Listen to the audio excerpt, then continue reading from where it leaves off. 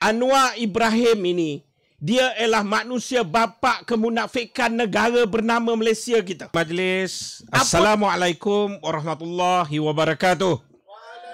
A'udzubillahi minasyaitonirrajim. Bismillahirrahmanirrahim. Alhamdulillahirabbil alamin wassalatu ala asyrafil anbiya'i wal mursalin wa ala alihi wa sahbihi ajmain.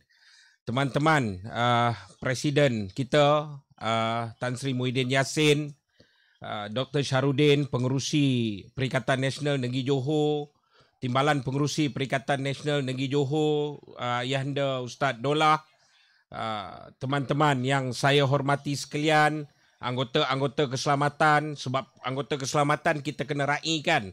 Sebab Cikgu Bat sebulan sekali dia akan ditangkap oleh anggota keselamatan. Kalau tak rai nanti tak dapat makan Maggi goreng. Ha. Kepada semuanya, apa khabar saudara? Baik. Apa khabar saudara? Baik. Ha. Inilah indahnya hidup dalam negara bernama Malaysia. Ada Perdana Menteri, Menteri sampai ke bawah, kerja kencing rakyat, tanya rakyat apa khabar, baik lagi. Saudara, rakyat kita dalam keadaan yang sangat tidak baik sebenarnya. Negara ini kita berdepan dengan pilihan raya. Anwar Ibrahim ni dulu saya sama berguling di atas jalan raya. Saya pernah kena dakwa bersih bersama Anwar Ibrahim dengan YB Azmin Ali. Ada Datuk Seri Azmin Ali. Eh, sekali dengan kita. Ha, kena dakwa sekali dalam bersih. Kan? Persoalan dia ialah, adakah pilihan raya setelah Anwar Ibrahim menjadi Perdana Menteri ini bersih? Malah dia pilihan raya paling kotor dan jijik dalam sejarah Malaysia. Kita tengok saja negeri sekarang. Agensi kerajaan bawa bendera. Kempen bagi duit. Ini di di apa namanya ni mahkota. Boleh pula tiga hari kerajaan negeri buat apa? Jelajah mahkota. Selama ini tak ada pilihan raya. Kenapa tak ada jelajah? Ba- buat jelajah. Ni anggota-anggota keselamatan ni kena tengok betul-betul. Rakam. Program pilihan raya. Bendera kempen pilihan raya. Bagi hadiah cabutan motosikal. Kau masuk akal tak masuk akal? Kau nak membodohkan rakyat hanya dengan motosikal ini. Persoalan kamu kena bentang idealisme kamu.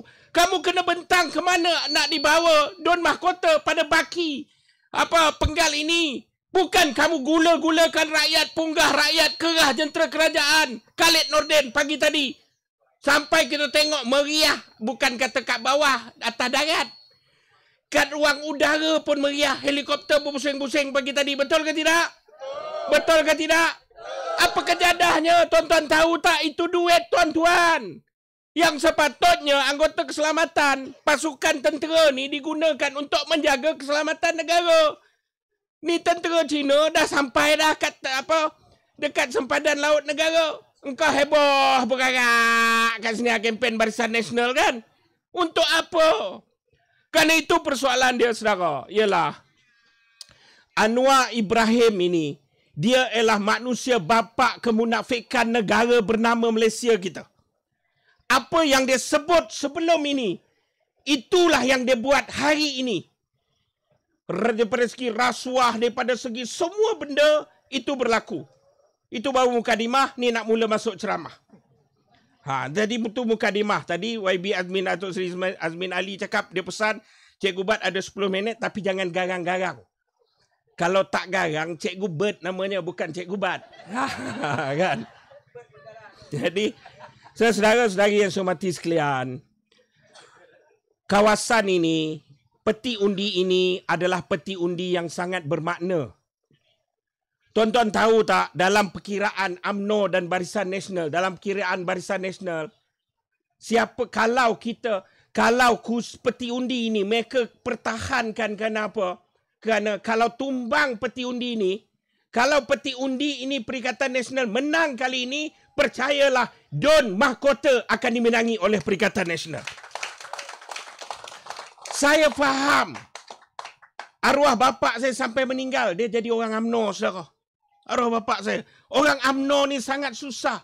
Saya akui bahawa ketika penjajah haramkan semua parti bagi peluang dekat AMNO, AMNO adalah benteng untuk memayungi AMNO ni ketika tu Tan Sri Muhyiddin pun dalam AMNO AMNO adalah payung kepada orang Melayu Islam.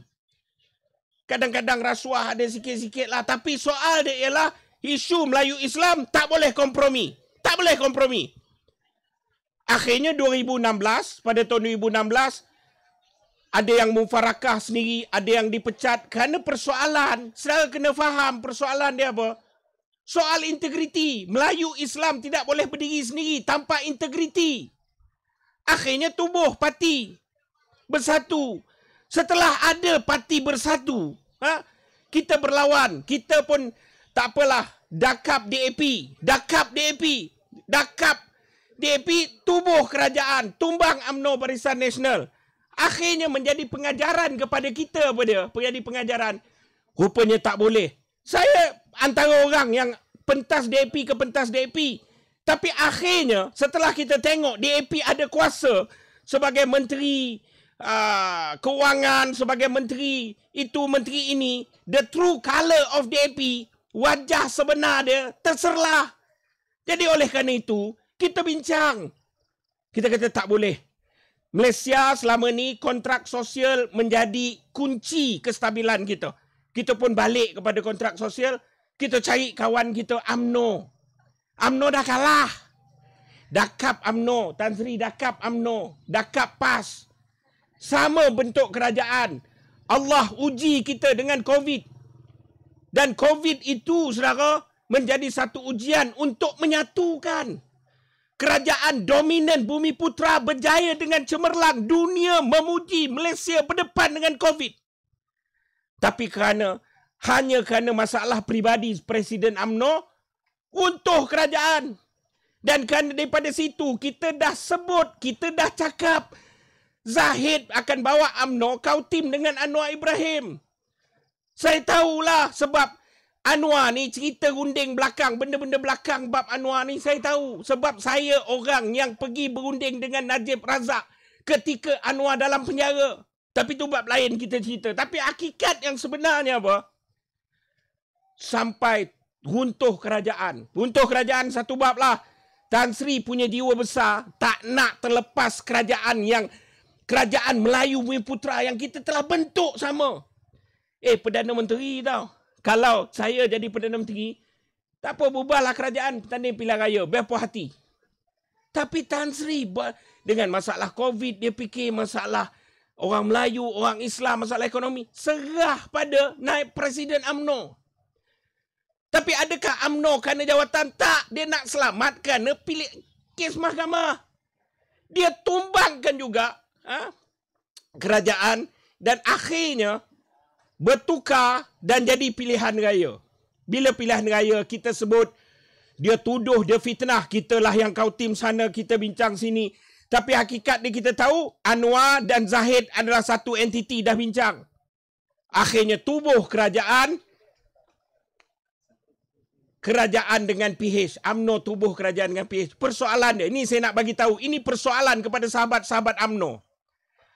AMNO hilang identiti. Selama ini orang tak boleh usik Islam. Rasuah sikit-sikit macam saya kata, okey. Tapi Islam Melayu tak boleh diusik. Tapi hari ini, saudara, hari ini, hari ini, hari ini. Nama kalimah Allah dekat stokin. Ingat ke tidak? Ingat ke tidak? Dekat stokin. Itu bukan logo kalimah Allah. Itu akidah kita. Saudara, Akhirnya bila orang boykot, pemuda AMNO muncul jadi hero. Akhirnya bila orang boykot, Anwar Ibrahim bawa toke kekemat pergi luar negara meniaga. Mana pemuda AMNO? Mana Akmal? Senyap. Senyap. Saya kena dakwa kat mahkamah. Ha? Tapi mana? Akhirnya diam. Ini isu halal. Saya dah cakap Akmal dan Teresa adalah wayang kepada opera Cina, wayang opera Cina kepada Don Mahkota. Teresa nak tarik undi Cina, Akmal nak tarik undi Melayu. Selera ditipu. AMNO dah tak ada maruah. Kerana itu bersatu kena menang kali ini. Bersatu tidak boleh gagal. Kerana bersatu dan Perikatan Nasional ialah payung terakhir orang Melayu dalam Malaysia. Sesedari yang saya hormati sekalian, ada banyak isu lagi. Tapi malam ni ada banyak penceramah. Tunggu kita pun baru hadir. Ada banyak penceramah. Saya nak mengajak malam besok saya nak buat beberapa pendedahan-pendedahan besar. Pendedahan-pendedahan besar. Khususnya berkenaan dengan bagaimana permainan kerajaan Malaysia, kerajaan Malaysia dalam isu akidah, pluralism dan liberalism ini. Macam mana agensi-agensi luar negara sedang memainkan peranan melalui Anwar Ibrahim bagaimana CIA sedang beroperasi di Malaysia. Malam besok saya jemput saudara, ha? Sekarang bos jebat, ha, ni bekas ketua pemuda AMNO ada sini. Ha? Kita bekas ketua pemuda AMNO bahagian Seremban. Saudara, malam besok ada rapat umum NGO Islam dan Melayu berbaiah. Ancaman terhadap Islam dan Melayu. Uh, Ustaz Dr. Profesor Ridwan T. Abdullah Ustaz Ismail Mina. Ada daripada Perkasa, ada daripada Muafakat Nasional, ada ramai NGO. Malam besok, saudara, di nombor 16 Jalan Dahlia, Kampung Melayu Keluang, dekat sini. Tak ada logo parti, kawan-kawan NGO Melayu berbaiah dalam Keluang pun akan hadir. Saya minta saudara ramai-ramai hadir malam besok kita akan buat beberapa pendedahan-pendedahan besar kenapa dan mengapa. Ini bukan persoalan calon barisan nasional. Kalau dia menang pun, kalau dia menang, eh ketua pemuda AMNO pun boleh bagi fiskis, boleh diam, tahu fiskis, bagi makan kucing ni. Boleh diam, ini kan pula kalau setakat calon ini menang. Saudara, kita perlukan kekuatan di bumi Johor. Johor ini bumi Melayu, Johor ini ada maruah. Orang kata tak setuju dengan bangsa Johor. Saya setuju bangsa Johor sebab persoalan bangsa Johor ini adalah bangsa yang ada maruah. Karena itu kali ini bangsa Johor kena tunjukkan pendirian. Bukan setakat cabutan bertuah. Bukan setakat um, t-shirt, allowance sikit-sikit. Kalau dapat, ambil, minta. Tak cukup, minta lagi. Tapi soal dia ialah, kita mesti cipta sejarah kali ini di bumi Johor calon kita coach Haizan boleh menang bergaya dalam pilihan raya kali ini. Saya minta, saya merayu bagi pihak rakyat Malaysia betul ini sekadar Dewan Dagang Negeri Johor. Tapi saudara, seluruh negara sedang memerhatikan. Kaki tangan awam yang ditipu oleh Anwar Ibrahim. Kaki tangan awam yang ditipu oleh Anwar Ibrahim. Umum naik gaji. Lepas tu Oh tak bulan 12 pula. Okeylah dah bulan 12. Lepas tu kena sign pula tukar skim. Saudara, ini adalah peluang terbaik.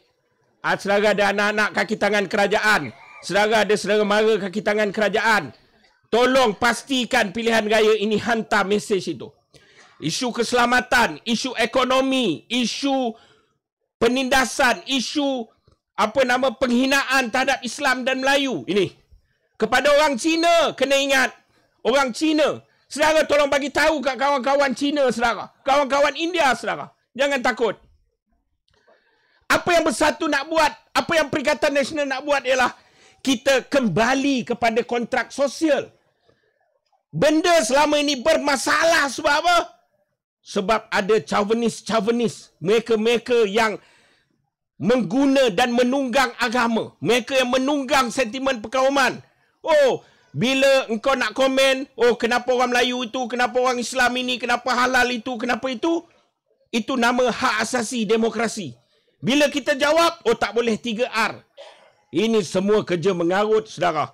Saya bagi pihak rakyat, saya orang yang insya Allah setiap saat saya janji untuk berjuang.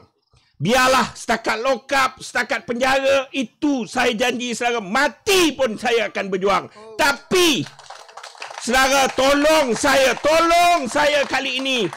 Kerja keras kita. Pastikan kita tidak tinggal kempen satu pun daripada pengundi kita. Kita pastikan mereka memangkah Perikatan Nasional. Boleh? Boleh? Boleh? Sekian saja wabillahi taufik wa hidayah. Wassalamualaikum warahmatullahi wabarakatuh.